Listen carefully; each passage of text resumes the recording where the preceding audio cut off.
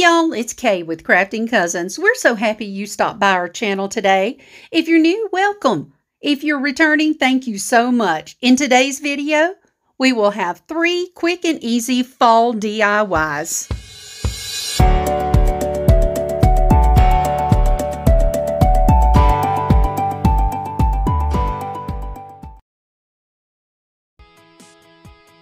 Hey y'all, this is Kay. For this project, let's gather up a few supplies and we'll make this cute home sign that we can change out for several seasons.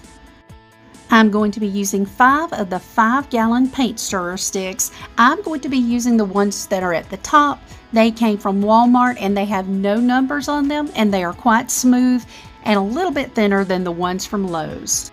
I'm going to use these three wooden letters, H, M, and E. I got them from Dollar General for a dollar a piece and they're about four inches tall. A metal pumpkin that I got from the Dollar Tree. It had a stake on it and I just twisted it off. Some three and a half inch wired ribbon that I got recently at the Dollar Tree. One chenille stem and one zip tie. Some Waverly chalk paint in the color plaster some antiquing wax by Waverly, some heavy duty Velcro that I got from Walmart. It is adhesive backed. And finally, some wood glue and my hot glue gun. I took my sticks out to the garage and I cut them with my husband's miter saw. And I cut the first two paint stirrers at 16 and a half inches long and I'm just going to discard those two smaller pieces. For the other two pieces that I need for this ladder, I'm going to cut two paint stirrer sticks at 11 inches, but I'm going to hold on to those two second pieces. The piece that is left is 10 inches, and then I'll cut one more paint stirrer stick into two 10 inch pieces, and that will give us the rungs for our ladder. Now that we have everything cut for the ladder, I'm going to use the antiquing wax and a baby wipe, and I'm just going to stain all of these pieces. I'm going to stain the front, the back, and all of the edges, except where I'm going to be joining the ladder and that would be the 16 and a half inch pieces and the 11 inch pieces. For my wooden letters, I'm going to give them a really good coat of the plaster chalk paint by Waverly to include painting all of the edges.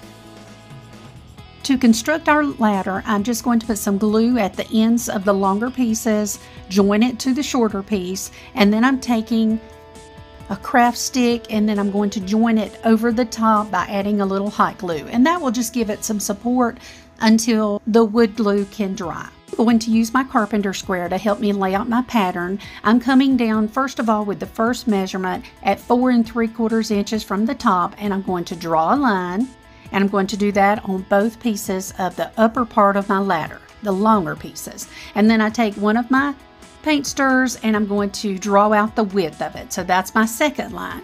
Then I come in four inches below that, start my next line with using my square, and then I draw in the length of the board once again. And then I just repeat that two more times down the board. And that way the third board will be right in the middle of where my two pieces are joined. Just like that. And that will leave us just enough room at the bottom to mimic what we have at the top. But you want to make sure that the longer board is always up. So I'm going to tape my two side pieces down to my work table, and that's why I've zoomed out so you can see that. And I make sure that I get it lined up nice and square, and then I'm just using my wood glue and my hot glue so I can get that fast hold and that long hold. And I'm going to join my pieces, my side pieces. Remember, they're 10 inches long, and we'll work our way down our ladder and get all four joined to our ladder. And I do come back and clean off all that excess glue. And there's our fourth one. Now our ladder is complete. I'm going to be gluing my letters to the board, so I want to come in with a scrap piece that I cut off one of these sticks and I'm just going to draw a line towards the bottom of each letter so that I know where to put my glue on the back. Then to place our letters on my ladder, I'm going to once again use my wood glue with a little hot glue in the center, and then I'm going to center them in the middle, each letter as I work my way down the ladder. I'm just being sure to line up the bottom with the bottom of the ladder so that everything is pretty much the same top to bottom. For the pumpkin, I'm going to use that heavy duty Velcro I showed you earlier so that we can change this out later, use a different metal piece that's around 4 inches tall, and trade it out for a different season. Speaking of that, I wanted a bow on mine, so I took those ribbons I showed you that I got from the Dollar Tree and I lined them up one on top of the other, and I made 6 inch tails and two 3.5 inch loops on each side. Then I'll come in with a zip tie, take it out of the bow maker. Before I cinch it tight, I'm going to place a chenille stem right there in the back and then we'll cinch that down and cut it off with our scissors. And then every bow needs to have the ends dovetailed. And we're going to cut from the fold out to the edge. And then we'll come in and fluff it and pull out the different ribbons. This is just a different way to use your bow maker and use up your ribbon. This ribbon is very wide, it's three and a half inches. So it required a little finagling and a little fluffing. Then we'll just attach it to our ladder and I'm going to enjoy this all fall and then I'm going to come back and use it in the spring as well.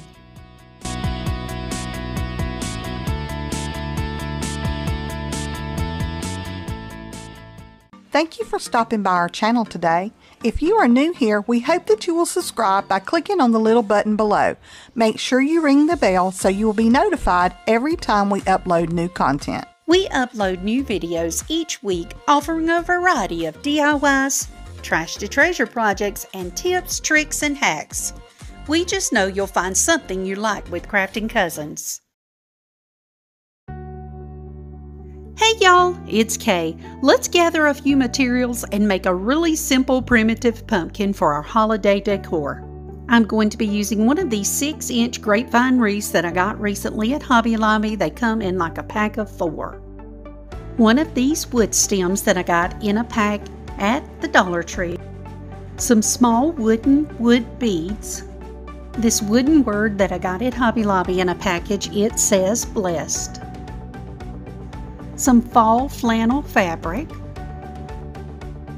one of these wooden tags that I got at Walmart, some Waverly chalk paint in the colors pumpkin and moss, some antiquing wax, and finally some jute twine and my hot glue gun. So the first thing I'm going to do is paint the wooden tag in the moss green chalk paint.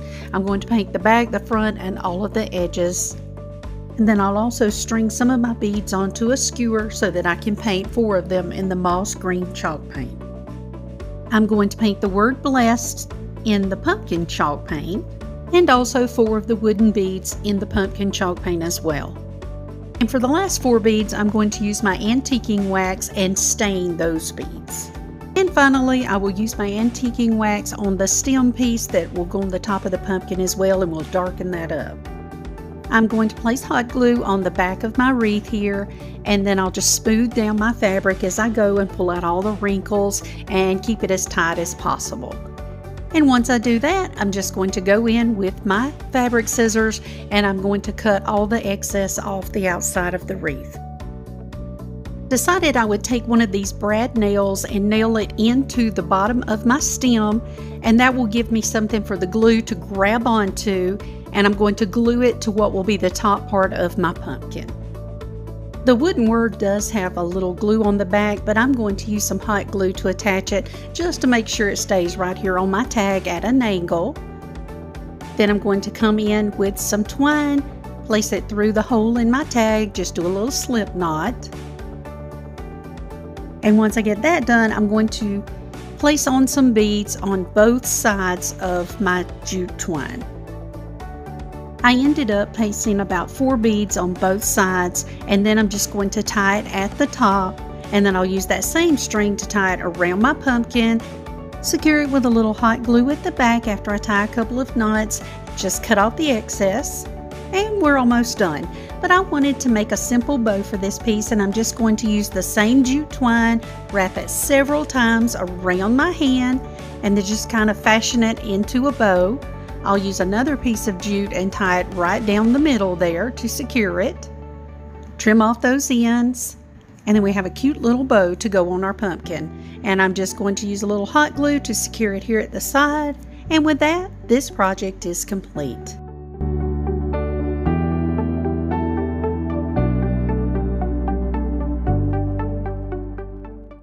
Do you like to create with paper? Create beautiful journals, cards, embellishments, and interactive mini albums? Well, you should go and check out our channel, Crafting Cousins Create. There, we slow down the videos and give you step by step instructions that make it easy for everyone from the beginning to the advanced crafter to follow along. There will be a link to that channel in the description box below. We hope that you'll come over and join us. Hey y'all, it's Kay. For this project, I'm going to be using this kit that I picked up at Target in the dollar spot area. It costs just $3 and it has the pumpkin plus four additional pieces. I'm going to be using this scrapbook paper that I picked up at Hobby Lobby, some Waverly chalk paint in the color Pumpkin, some acrylic paint in the color King's Gold, it has a flat finish, some ribbon that I got from Michaels. It is about a 3 8 inch ribbon in the color pumpkin. Some jute twine. My furniture repair marker from the Dollar Tree. Some Mod Podge and my hot glue gun. So to make a pattern for my pumpkin, I'm going to use some printer paper and just place it down inside and I gently start working my way around the pumpkin and using my nails to kind of cut out a pattern and I decided I would do the pumpkin stem as well. But later I decided I wouldn't even use that piece, so if you want to skip that and do it like I did it, you can leave that off. And then at the end I just used my scissors to finish cutting out the pattern. And once I was sure it fit, then I came in with my scrapbook paper I'm going to use and I turned my pumpkin Make sure you turn it the correct way. That's one of the reasons I left the stem on so long. I use some washi tape to tape it down to the paper, and then I'm just going to come in with my pencil and trace that out. Then I'll just use my scissors to carefully cut it out. Once I'm pretty happy with the fit, then I come in with my furniture repair markers and I'm going to stain the outside of my pumpkin all the way around. Furniture repair markers are odorless and they dry almost instantly. They are perfect for these small projects. And then I stained the stem top on my leaf as well. Now this is where I decided to cut off the top and so I'm going to go in and stain the top of this pumpkin with my furniture repair marker also.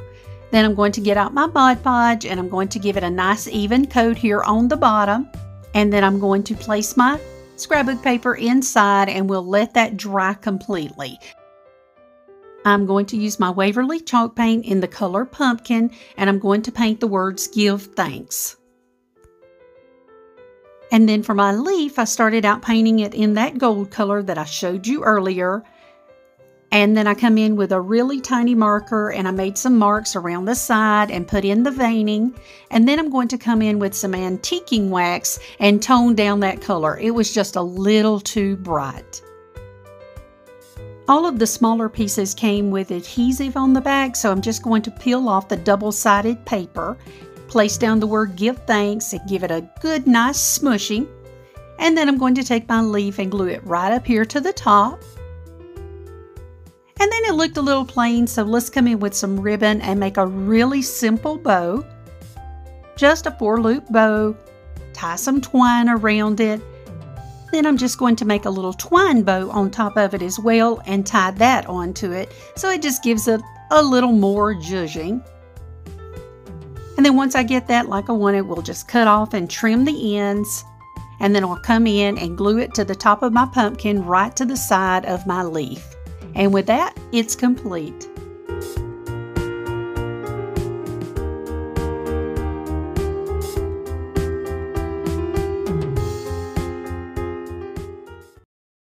Thank you so much for watching today.